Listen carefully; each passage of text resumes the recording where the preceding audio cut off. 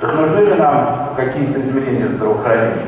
В принципе, можно ничего не делать. Можно заедать оставшуюся, сложившуюся удачную систему того здравоохранения, которое было базовым. Она уже практически изменилась до неузнаваемости. Мы видим огромные храмы, пустующие в районных больницах, которые я проезжал, заброшенные отделения определенные, даже корпуса, отсутствие cara. Перемен требуют наши сердца. Молодежный гимн времен перестройки впору примерять на отечественную медицину.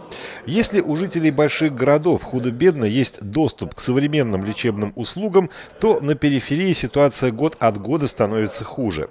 Пациенты голосуют ногами, едут лечиться в Москву, Самару и даже Пензу. Последнее, по мнению министра, хуже любой критики от оппозиции. Нельзя уже нужно сделать изменения и начать жить по-другому. Переломить тенденцию к полной деградации отрасли в глубинке – суть реформ, предложенных областным Минздравом.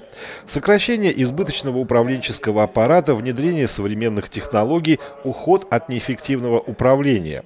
Решить эти задачи можно созданием межрайонных центров, своеобразных аналогов областной больницы. Но почему-то именно к ним у депутатов было больше всего вопросов. Хотелось бы от вас услышать э, вполне себе честный и, главное, прямой ответ – что лежит в основе этого движения. Потому что система не будет работать более эффективно, э, если вы сократите оттуда какое-то количество э, сотрудников или какое-то количество самих учреждений. Мы ничего не берем, ничего не сокращаем, ничего не уничтожаем.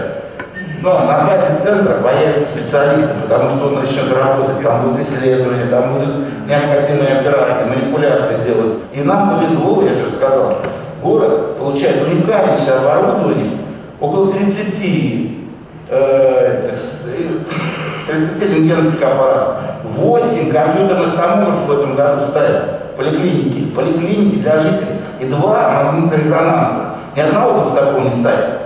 И это самое будет на следующий год в районе центра. Пород дома, когда вы говорите, что вот сокращение, я так понимаю, вы совершенно не верите в обращение, в послание к Федеральному собранию президента, который предложил целый ряд мер в январе этого года и обещал, что эти меры нам очень быстро дадут эффект э, по росту рождаемости, и роддома нам снова понадобятся. А вы, ну, видимо, не верите в это. У нас есть концепция президента к 1932 году. Будет восстановлена рождаемость. Да, к 30 доживем, доживем. К 1932 году, да, это первое. А во-вторых, у нас сейчас и резерв есть. Если вы сейчас увеличите количество родов на 25-30% нам, сейчас, мы спокойно с этим справимся с тем почным фондом, который мы имеем. Работа койки, например, вот сейчас в стационаре в Энгельсе на 300 коек лежит 110 женщин, 200 коек свободно. Добро пожаловать, любых приглашений. Надо ответить сперва один вопрос. Будут ли в центрах специалисты узкие? И есть ли у вас такие карты? Есть ли узкие специалисты на местах? Нет. Я говорю, нет, это страшно становится. Нет. В Алгае один хирург, ему под 80. Вот я прям не знаю, что буду делать, когда он идет на пенсию. Потому что меня, я туда хирурга не привлеку. У нас вакантные места есть. Они не едут. Почему? Потому что в один, например, Новоземск, если приехать, да, то они не будут работать у кардиолога. Него 3 больных, 5 больных. Он должен работать, у него должна быть нагрузка.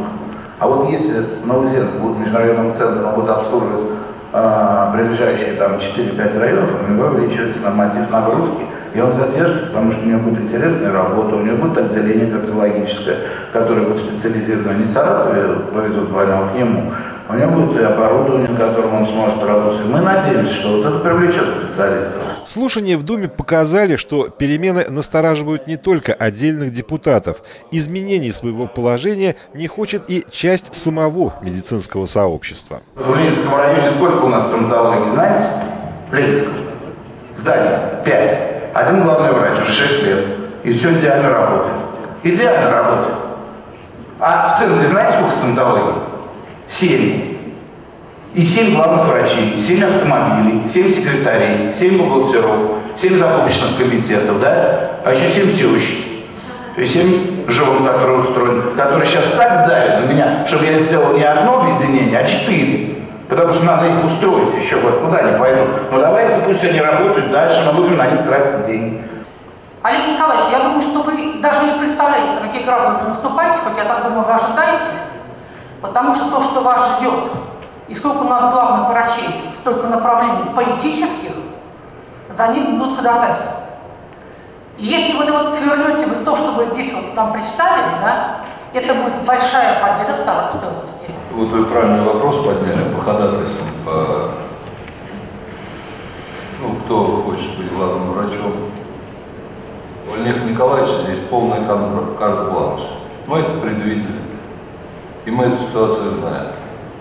Она будет искоренена на корню. Кто бы там ни ходатайствовал, профессиональные качества определяет Министерство здравоохранения.